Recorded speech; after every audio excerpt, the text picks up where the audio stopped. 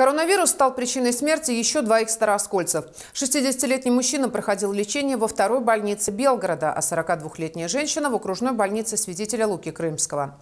На сегодня в округе выявлено 2980 заболевших коронавирусной инфекцией, из них 2500 выздоровели, 11 не смогли победить болезнь, 477 продолжают лечение.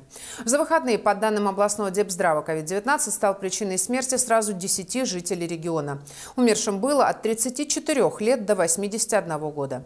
В субботу и воскресенье в области подтвердили 350 новых случаев заражения. Всего с начала пандемии оперштаб зарегистрировал 19 964 положительных теста на коронавирус. 206 человек скончались.